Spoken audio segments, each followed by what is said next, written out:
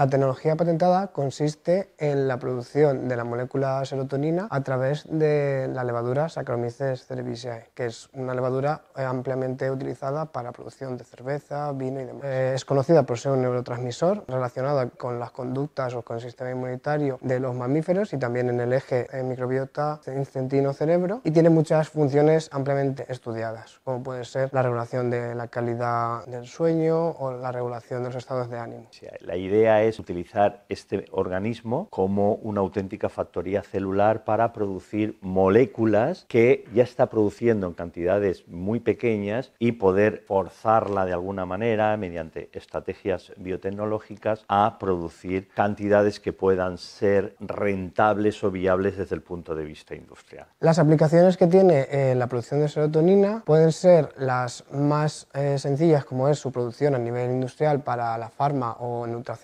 pero también hemos pensado al haber visto que estaba presente en alimentos que puede ser como una manera de enriquecer estos alimentos para que tengan mayor contenido de estas moléculas con grandes capacidades tanto antioxidantes y antimicrobianas y utilizarlas para generar un producto de alto valor añadido. Las novedades de la investigación es que responde, digamos, a dos demandas claras de la sociedad. Por una parte, un estilo de vida cada vez más saludable, que viene acompañado de una mayor esperanza de vida y a la vez hay una demanda de que los procesos industriales sean cada vez más sostenibles y más respetuosos con el medio ambiente. Y creo que nuestra tecnología cumple con ambas demandas de la sociedad. Producirlo a través de un microorganismo como la levadura del vino, que podría producirlas de una manera mucho más barata, con un proceso mucho más respetuoso para el medio ambiente y que además podría ser viable desde el punto de vista industrial y obtener un producto mucho más puro.